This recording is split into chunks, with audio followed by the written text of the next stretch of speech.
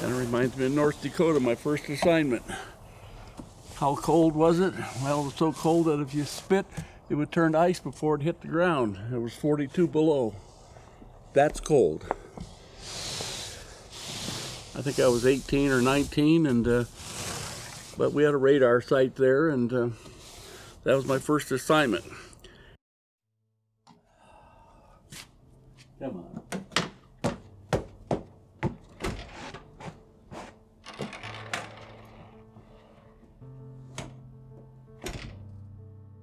I was born in August 18th, 1939, which historically speaking is when Hitler invaded Poland with Blitzkrieg and started the Second World War.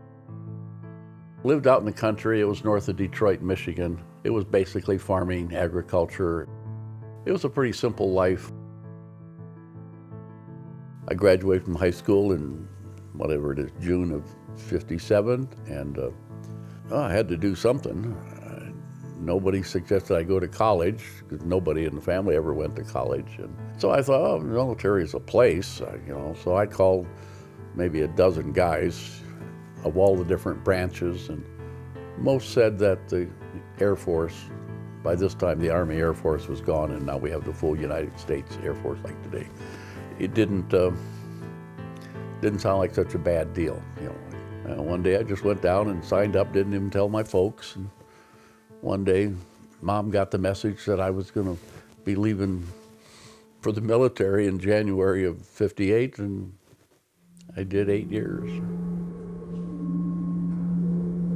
I was going to a radar school, whatever that meant, and uh, that lasted, I don't know, three months.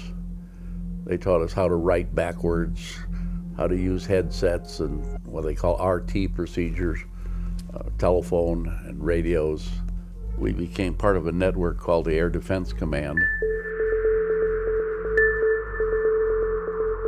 The concept of the radar Air Defense Command was surround the entire continental United States to include Canada and Alaska to look outbound away from our borders, waiting for and looking for the penetration of, if you will, Russian bombers because the Cold War was intact from about 1953-ish through 83.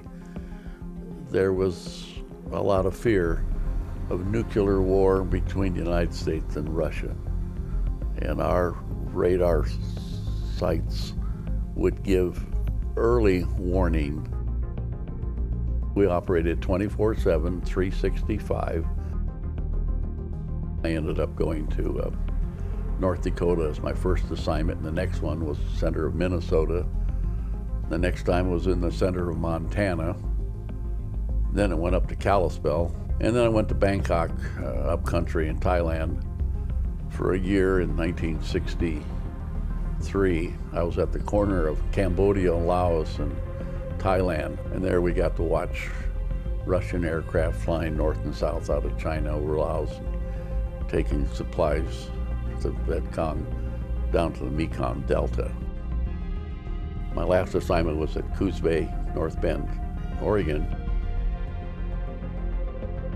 As a farm kid from Michigan, it was a total surprise, but at age 18, you're willing to take on any challenge that goes before you.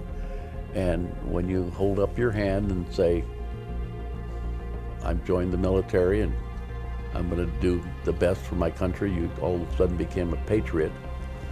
And whatever they told you to do, whatever they asked you to eat, uh, wherever they want you to go and stand at attention and have a pretty uniform on, you did it and you never once thought about it. You, you just did it. It's kind of where you go from being an adolescent to an adult.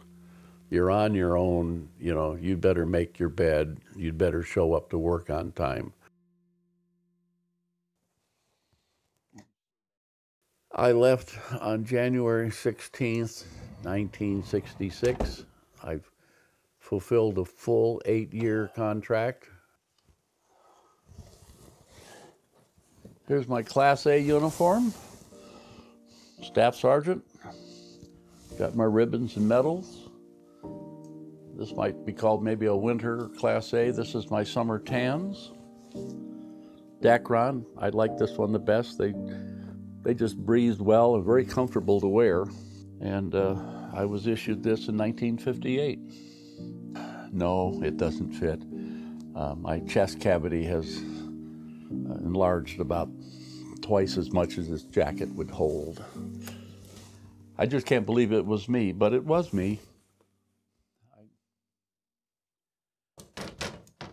Over the years, people have given me things.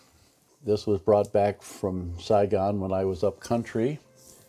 Uh, this particular bell uh, was given to me in 19, well, I guess it was 2002. I was lieutenant governor with Kiwanis. I'm also a life member of Kiwanis, and just the other day I got my certificate for 55 years of service to Kiwanis. All of the collection of my life of small gifts that have been given to me, all have a meaning, are in this cabinet. This is how I see myself. This is how my friends see me as a real turkey. so I moved to uh, Sisters, Oregon here in uh, 2007, and uh, there was a VFW meeting down at City Hall, and I went down to it, and I was really impressed with the way it was run, how the guys were, and I joined it.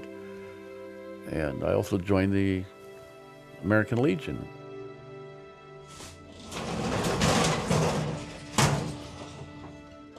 There we are. Oh boy, flags, more flags.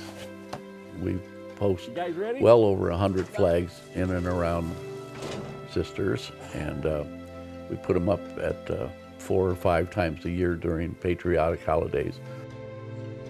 Our flags are up here for 75 days a year. It really adds a culture into your heart about the country. Is it a piece of cloth? No. It's your country, it's your freedom, it's your life that you chose to live.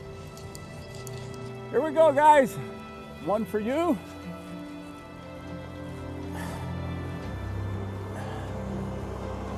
Tell us when you're ready. Got it? Okay, that's one. Tighten her down. We'll take them down next week and put them back in storage. I think we put up a few over a hundred flags up and down this street here and then down the middle of town, Cascade Avenue. And uh, I'll be putting up these flags in Sisters, Oregon as long as I can. Until I can't, it'll happen. If I have to sit and direct from my car. It's always an honor for me to stop when the job's done, look at the flags and throw a salute. God bless America.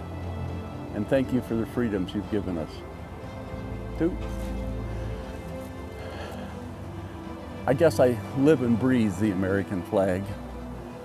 Not surely why I do, but I do. It's just I'm very proud.